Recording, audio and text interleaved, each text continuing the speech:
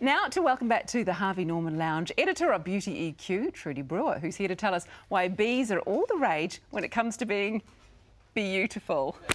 That's a dad joke right there. Hey, morning, Trudi. Uh, or a buzz. Uh, we could go I, on all day we like could this. go on all day. Hi, Mel. Hi. It's a really common thing, though, to see honey in, in beauty circles right now, mm. isn't it? It's very it's, on trend. It's become that way, and I think we've got celebrities like Gwyneth Paltrow and Kate Middleton to thank for that, really, with their bee venom facials, which we're going to talk about later. Yeah. Um, the thing about honey is that it is an incredible antibacterial and anti-inflammatory ingredient. So those are two things that the skin needs to actually thrive and to look its best. Um, it's incredible for attracting moisture. It's a humectant, so it pulls moisture from the air and actually if you've got it on your skin, it helps retain moisture in the skin, so it's great for aging skin. And the antibacterial properties brilliant for acne sufferers. So, you know, it, it, it's got a medicinal um, purpose mm. as well as a real beautifying and hydrating purpose. But obviously there's a lot of other things rather than just the honey. Yeah, there is. Related to the bees that are in the uh, beauty industry at the moment. Let's talk about uh, bee venom, honey, royal jelly and pollen all used. All used. Let's go into those in a little bit more depth, shall we? Um, bee venom, what do you actually use that for? Well, what is it? Bee venom is used um, in facials um, and in creams and face creams and it's a potent protein so it really helps boost collagen levels in the skin. Um, it also is an anti anticoagulant, coagulant, so it's great for anyone who suffers redness or anything like that. And it's it's very purifying on the skin too. Um, and then the royal jelly again is really great for restoring the skin's collagen levels and boosting collagen. And actually, just the clarity that skin needs as, as you get older, it's very very good for that as well. Royal jelly, I always remember that story. Do you remember that Roald Dahl story? Yeah. When they give it to the baby yeah. and the baby turns into a bee at the end. That was a really cool story. But that's been around for a while, hasn't it? All of this has been around for a while, and I think why honey is so fashionable again is because of the technology now that's used to extract the goodness from it. Mm -hmm. um, raw honey is, is full of goodness, and we talked about that earlier.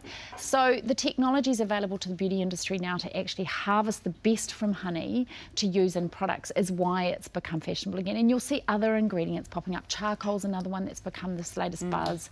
Coconut, um, there's going to be a lot more coconut products around soon too. Pollen, can you use that in there as well? Pollen extract, again, just healing, um, rejuvenating, clarifying, um, and they're all extracted, usually um, distilled, water distilled. The goodness is extracted yeah. out of it, and that juice is used in creams and body lotions. And so, who would actually benefit from using the honey products? Anyone can. I mean, that's the thing. At this time of the year, skin is dehydrated generally. Mm. So anyone that's got a dehydrated skin, anyone with an acne skin, um, anyone who's concerned about aging, anyone who has um, inflammatory or skin that's sensitive, it's great for calming sensitivity. Mm. So it depends on the product you choose, but anyone can use a honey-based product. What if you are allergic to bees?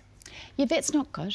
Yeah, you wouldn't be using uh, any of I these I wouldn't things? be using that. Mm. And nowadays, you know, every product has uh, a description of what's in it on okay. the back, you know, or on the packaging. And it, I mean, it's like anything. If you're allergic to nuts or bees, you really do need to be mindful of right. reading the instructions on the back of the product. So you bought some things in today. I Let's some talk about in today. a couple of the. I, I actually ones. bought three ranges in that I really like. Um, there are a lot out there, so apologies for people I've forgotten, but there are a lot of products out there. The first one, Burt's Bees, is, is an American brand, but it's a cute story. Burt's Shavitz was a beekeeper and started making honey, uh, started making honey products and selling them at markets. You know, and a billion dollars later, here we are with uh, wow. uh, Burt's Bees. Okay. Um, a brilliant brilliant brand. It's got colour, it's got um, lipsticks, um, moisturisers, mm -hmm. foundations. The um, honey body lotion is to die for, and I've got, I want you to keep these and try them. Um, and a great little honey lip balm. You know, at this time of the year, dry lips, fantastic. It tastes delicious. It's great, great price point too. Okay, so that's a good one. What about the um, The second one is a new product from Kiehl's, and um, this again is an American brand, but they've used New Zealand Manuka honey in this, Beaver, um, this Pure Vitality. Which is the best, isn't it? Absolutely the best, world class. Um, so this is another great product. And the thing I love about the Kiehl's Pure Vitality is it's day and night cream. So for women who are busy, you don't have to have two separate creams. Obviously, you Good. would use a sunscreen over the top of that. Right. And then a homegrown brand, um, Manuka Doctors. Um, Khloe Kardashian is the face of this brand. Oh, wow. Okay. For the, the Crystal Drops um, cashmere brand.